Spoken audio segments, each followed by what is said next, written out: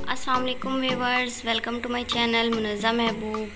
आज मैं आपके लिए लेकर आई हूँ बहुत मज़ेदार चने की दाल का हलवा, जो कि बहुत मज़ेदार बनता है और बहुत आसान बनता है।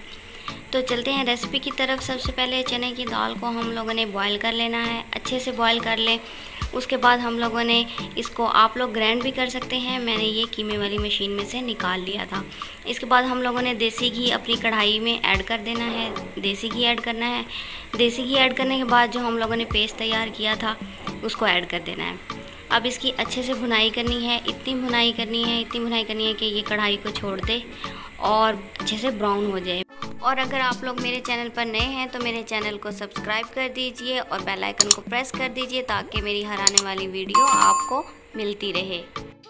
अच्छे से भुनाई करने के बाद जब ये अच्छे से भुनाई हो जाए, उसके बाद आप लोग इस तरह से चीनी ऐड ना करें। थोड़ा सा पानी लें, आधा कप पानी उसके अंदर चीनी, जितना आप लोग हलवा बना रहे हैं, उसके हिसाब से चीनी ऐड करें। ये देखिए, मैंने चीनी ऐड कर दी थी और इसके बाद जो हम लोगों ने भुनाई किया, वो अपना पेस्ट था दाल का, वो ऐड कर देना है। अब इसकी अच्छे से भुनाई करनी है। आप लोग अपने हसब ज़रूरत, इसमें मेवा जात ऐड कर सकते हैं, जो आपके पास अवेलेबल हों।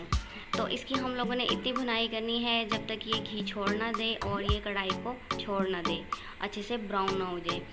अच्छे से भुनाई करने के बाद फिर ये इतना मज़ेदार हमारा हलवा तैयार होगा। ये देखिए जी, बहुत मज़ेदार तैयार हो और इसने अपनी कढ़ाई को छोड़ दिया है। अब हम लोगों ने इसको डिश आउट करना है। किसी डिश में निकाल लें, ठंडा होने दें।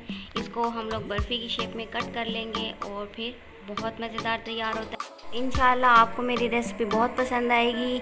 बहुत सॉफ्ट तैयार होता है। एक दफ़ा ज़रूर ट्राई कीजिएगा। मिलते हैं नेक्स्ट वीडियो में। तब तक के लिए अल्लाह हाफिज़।